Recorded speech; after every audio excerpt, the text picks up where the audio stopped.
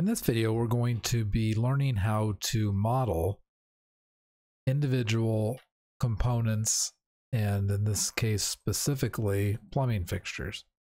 So here's a slide bar made by California Faucets and instead of having a generic representation of the shower fixtures, it's really helpful to have the actual fixtures modeled so that they can be placed accurately and the people in the field do not have to make guesses as to how they're going to be installed.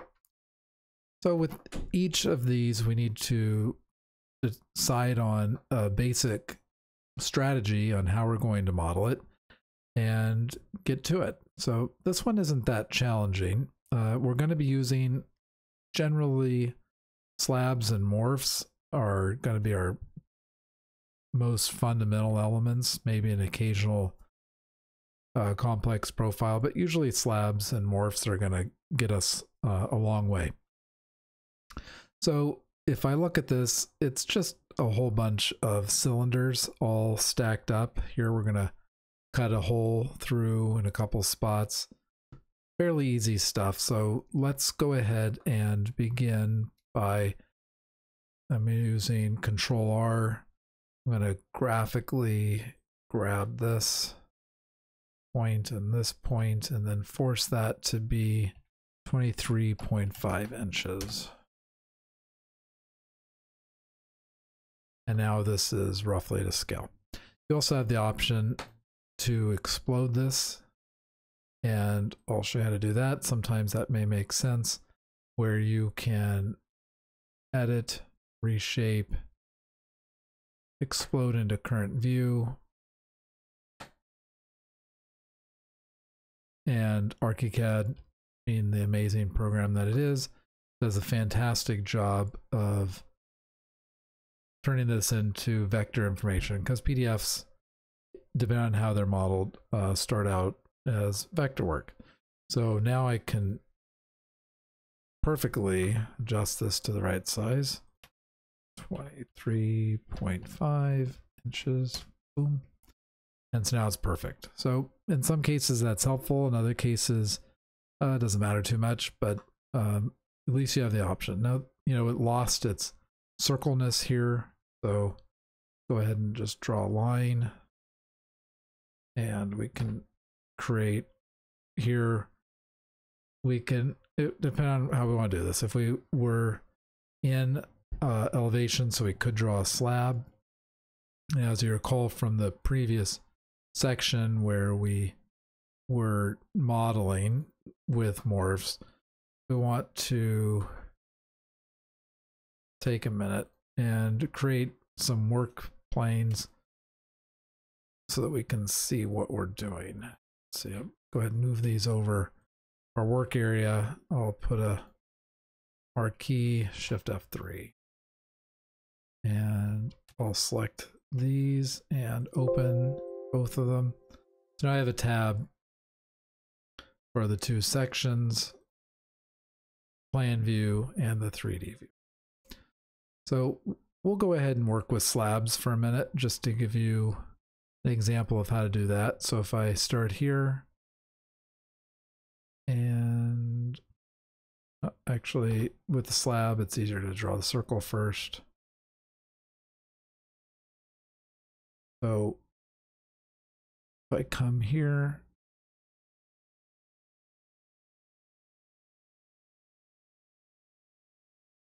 and draw that circle, and delete the polyline so we can get the circle underneath.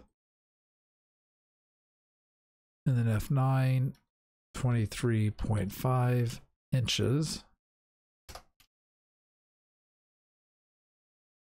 Actually, we don't really even need to do that. Let's let's just trace a slab here. Perfect. Now we have a slab and we want it to be, we can come over here and measure 0.377. Delete the circle, get the arc 0.377 inches. We'll put it on zero. now we'll copy this at 23.5 inches. If we go into our marquee, we can see there are two discussion plates, so that's nice.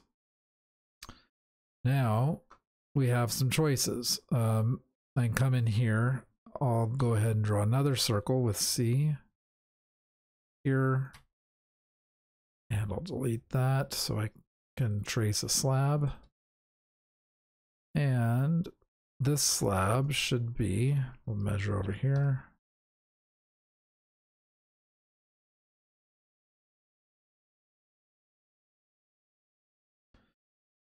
Tab, Control C, and you can get that value.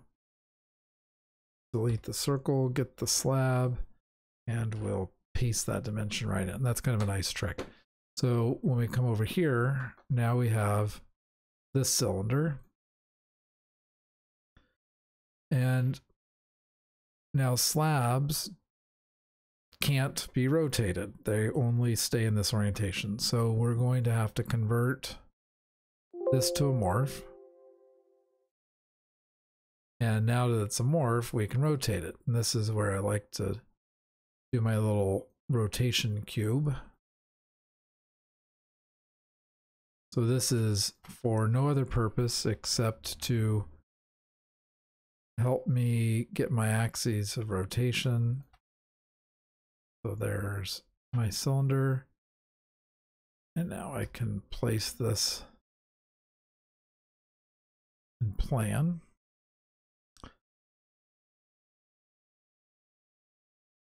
So there's that bar right there. Let's move this out of the way a little bit.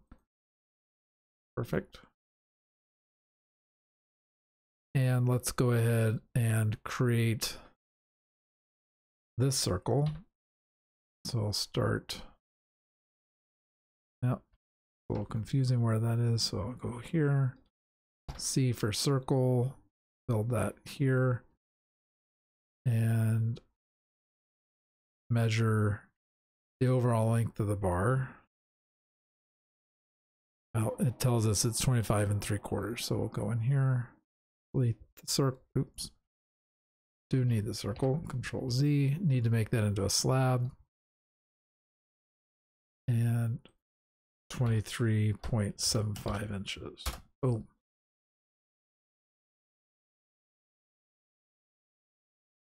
So there's that component, but now we need to rotate it.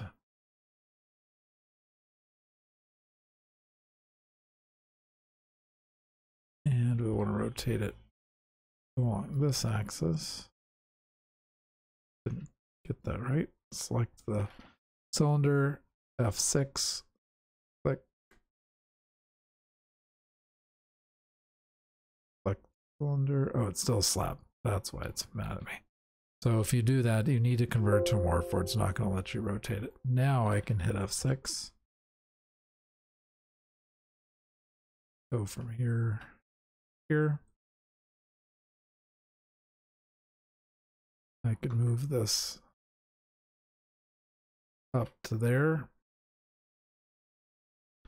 We could do a little chamfer here if we want, although I think it's so small it doesn't matter. Interesting. Did I not get the height right? So we can pull this up.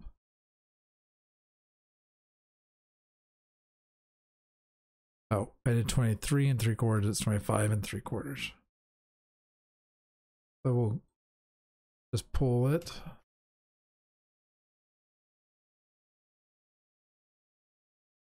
And 2 inches.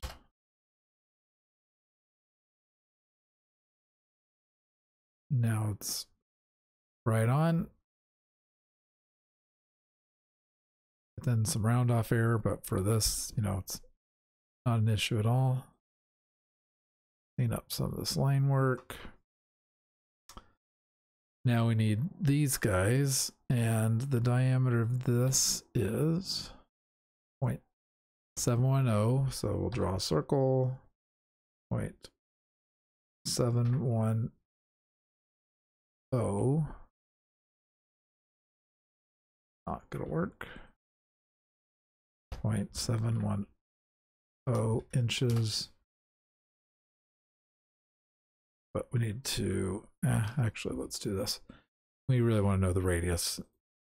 So 0.355.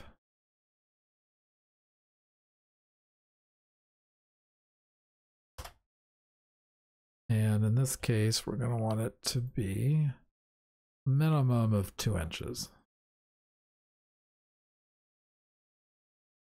Slab.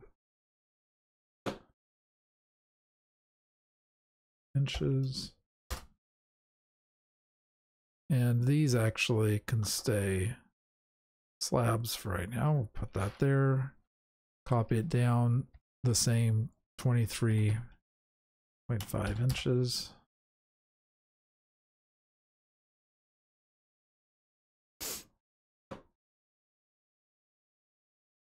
Okay. Now these are all out of plane. But if we go into our sections, and sometimes you may have to draw some lines when it's when it's turned into morph, sometimes it loses its center and stuff. Often draw some reference lines at an angle so I am clear what it is.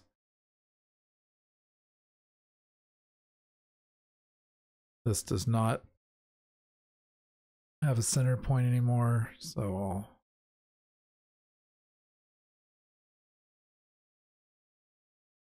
try to give it one. So take this, F5, find that center.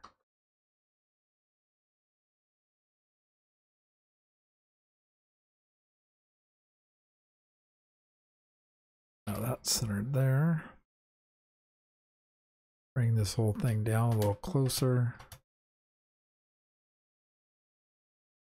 Here's our standoff.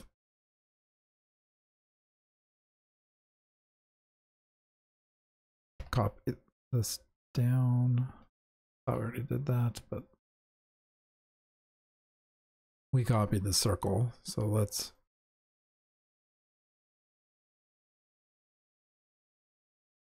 twenty-three point five. This is in our way. We'll just move it. So that's good. That's good.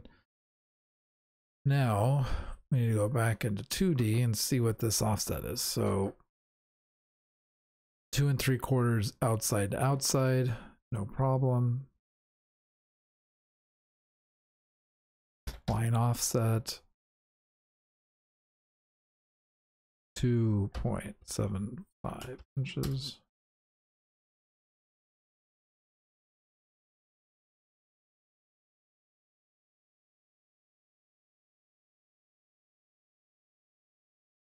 Yeah, let's grab this one too.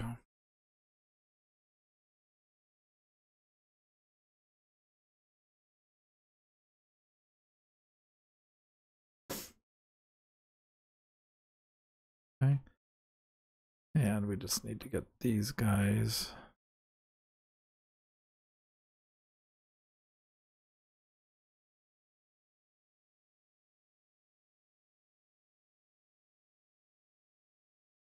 Over into the centers.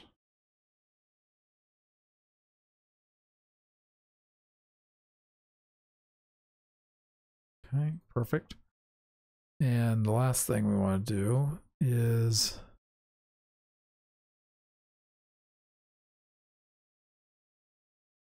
find out a little bit more about this. So we have a 5 eighths hole. So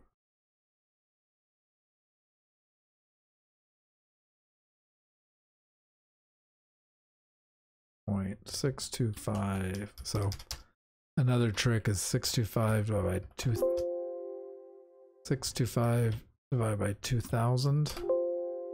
Not work.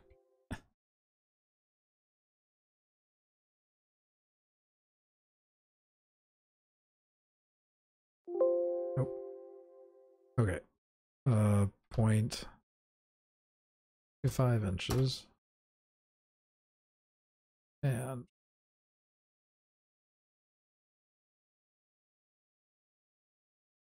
there's that. Make that a slab. Four inches is fine. And then I'll go to 3D. I'm going to rotate this. I had to convert it to a morph. F6.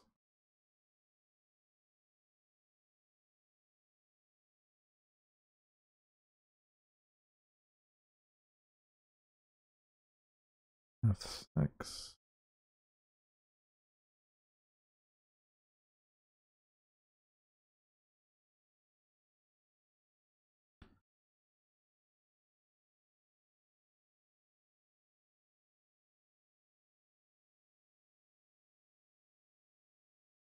Gotta find that morph. There it is. And put it right in here.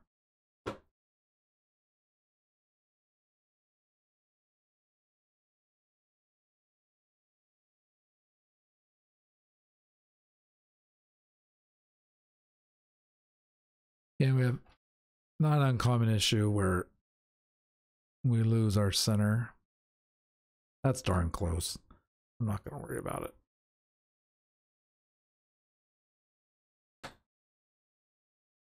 Gotta make sure I'm moving the right stuff.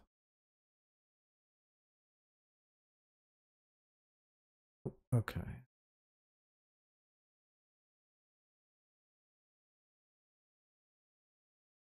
Move in the wrong piece.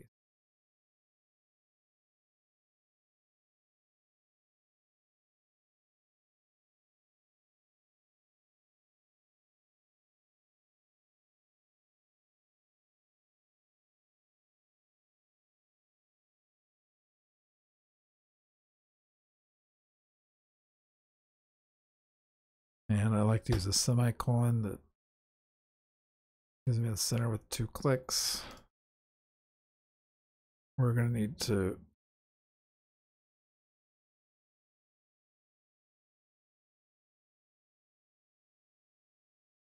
pull into this. So that's not a morph. So we're going to convert it to a morph. Pull it up so it's inside.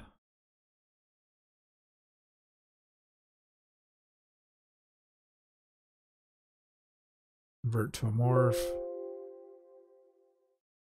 Use the pull, pull it up inside. There's our cutter. This looks good. We're centered there. We're going to take this and this, and we're going to do a Boolean traction from this guy. There's my hole. Now I think I'll look in here. We have this little dial here, which is a real small radius.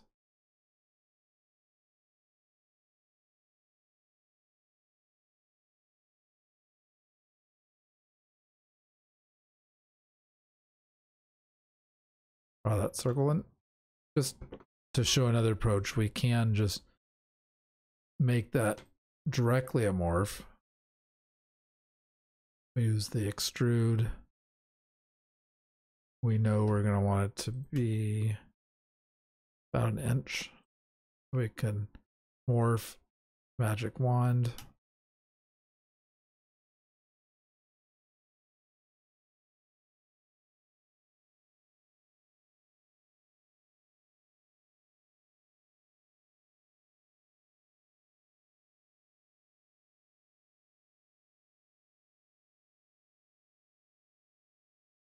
Pull it up one inch. Use our views to get it in the right spot.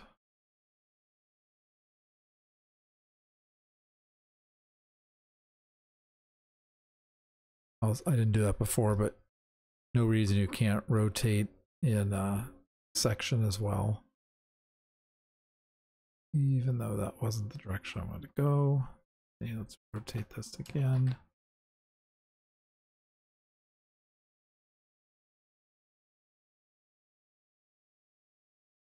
Move this back there.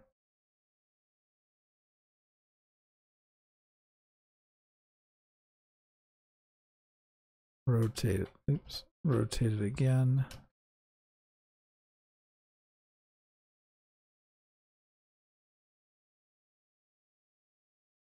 And this stuff is definitely eyeball worthy. Boolean union.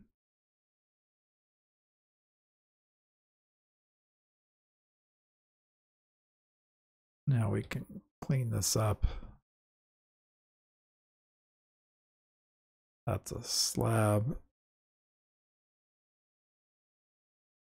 Slab. Convert to morph. So we need to get all these into morphs.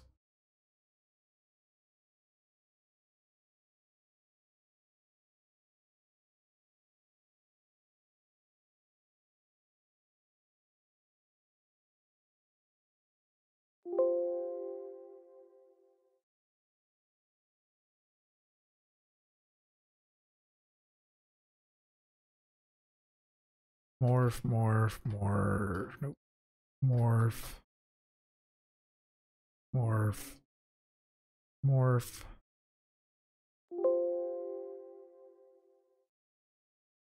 And I'd like to keep that as a unit.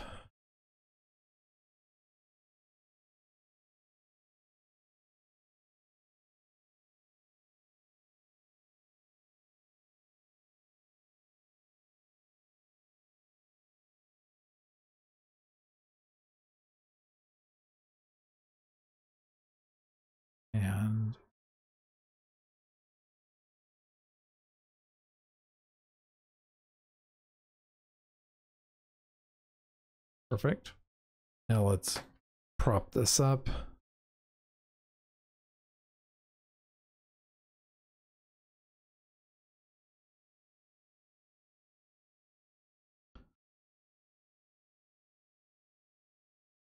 Here it is in plan. That's our hole.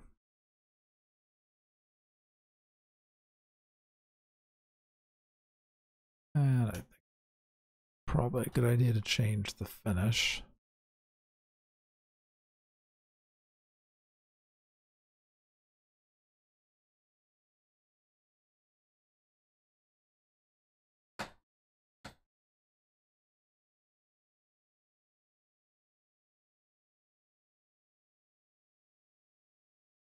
some stainless. All right, and that's the first component. And, you know, it didn't take that long, but and we have something we can use over and over and over again, put in our standard library, good to go. So while we're at this, let's go ahead and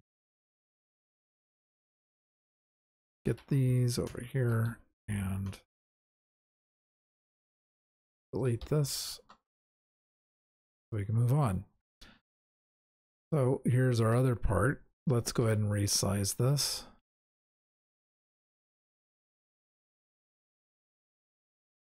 Find graphically. Get it close first.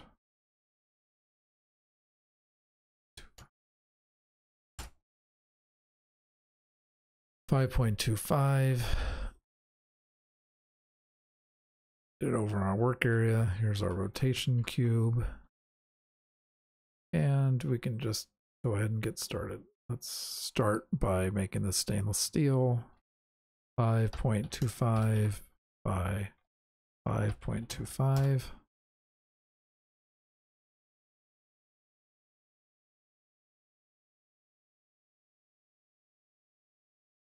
Draw a line in the center.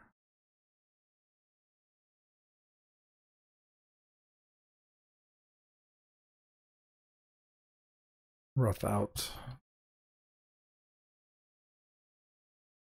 the center. And of course, we could blow up the DWG if we were so inclined. But for something like this, I'm not even going to bother getting those dimensions right.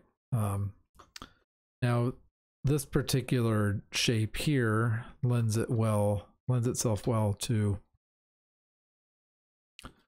a revolve. We'll get a lot more detail out of it. So I'm going to draw some lines.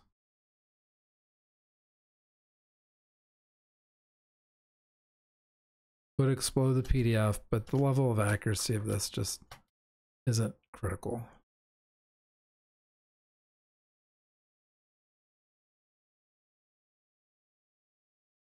And even this, do we want to make this round? I will, but you know, makes the model a lot heavier when you do that.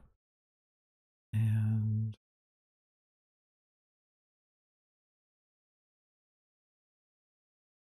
all right, now we can go to morph, revolve, magic wand. It's tracing the right shape. Click, click, 360, boom. That was not what I wanted. Try that again.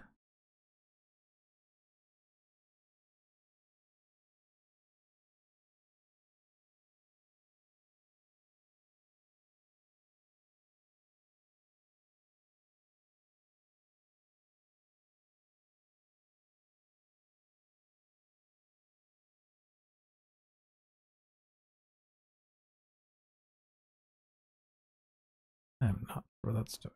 See. Yeah, we're obviously getting something we don't want. Let me move this out of the way for a minute. Go two feet.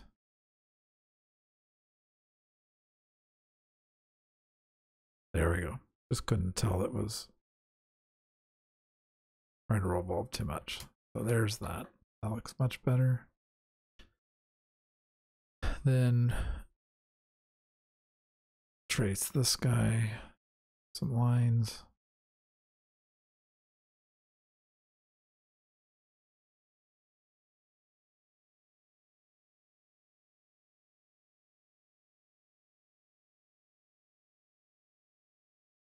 Intersect that.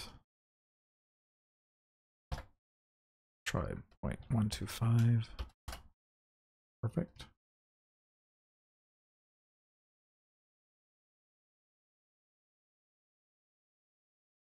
Excellent.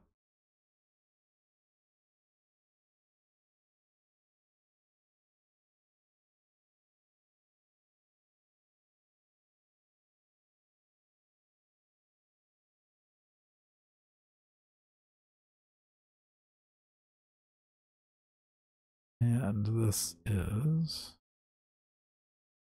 right around 0.7.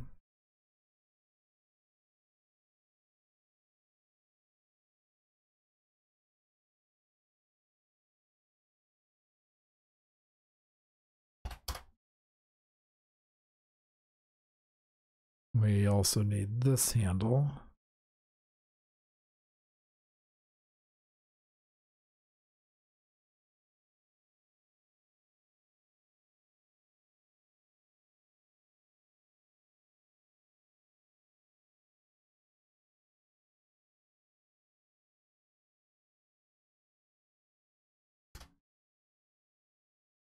Close enough. And this out of the way because it keeps trying to trace it.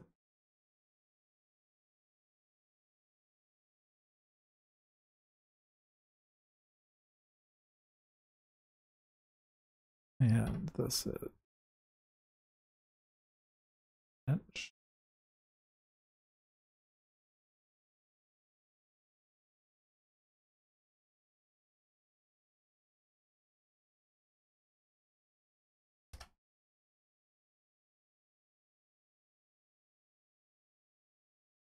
And the last thing we need to do is make this a slab of 3 sixteenths.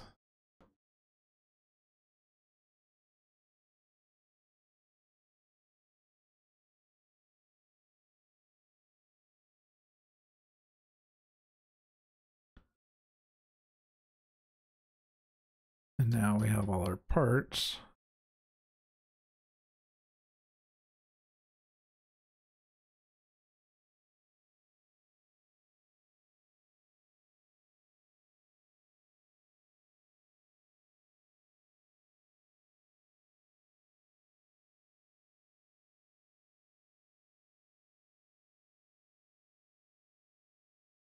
I don't think it's critical to put those joining pieces in. It's up to you if you want to. Um,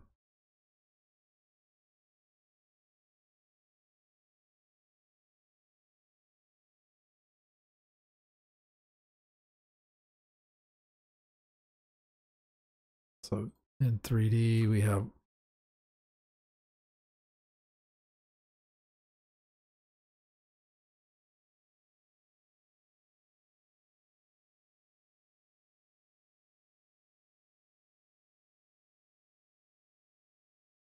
And now we got to use our tools here to get everything in alignment.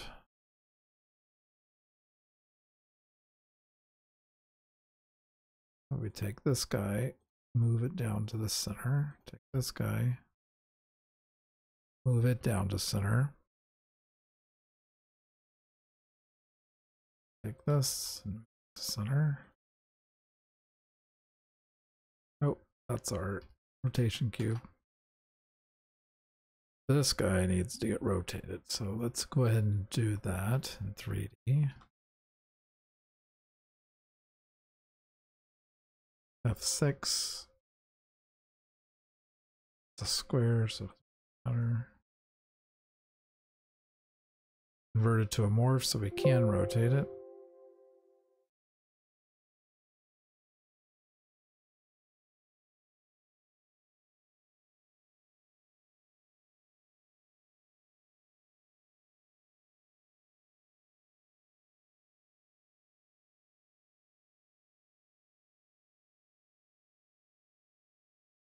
Here's our morph.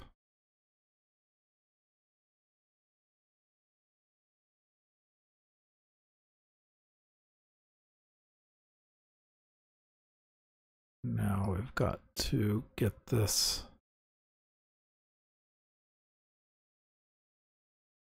height.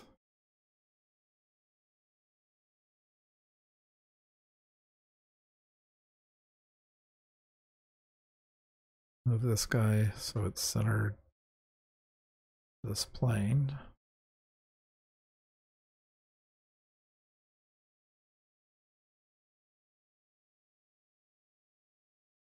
And now we just to rotate this.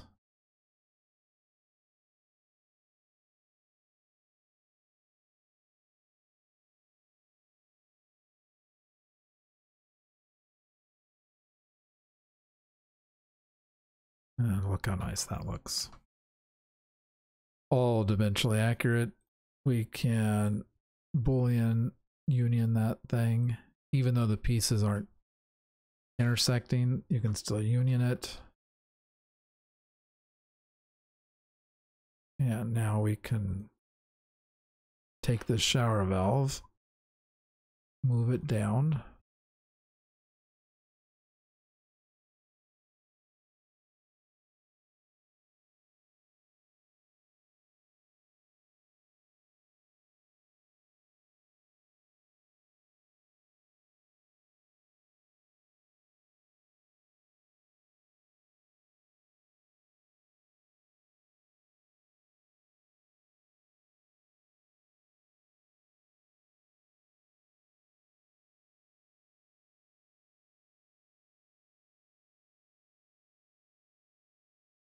Okay. And that's the back side. Let's go ahead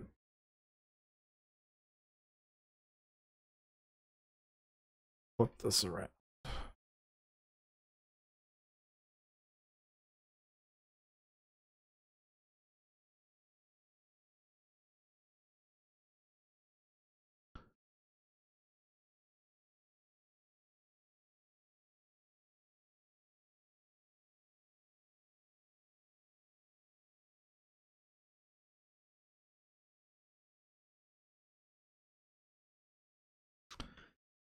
If we wanted to union this, it will give us this line here, which would be nice. Or what I'm going to do is I'm going to F9 this, make a copy. I'm just going to select one, Boolean subtract from that. So now I have this and I put a hole in there and so you get that edge, which makes it look a lot better. it still gives me the option to move this up and down.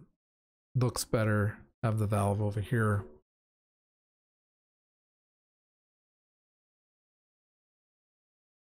And that's essentially how you go about modeling plumbing fixtures. So it's pretty easy, kind of fun. And once you get a library of these, then you have many, many, many to choose from and use. And so the next thing I'm going to do is do the handheld here and I'll do the spout and then I'll do a hose that connects from the handheld up into here. But um, save that for another video. Thanks.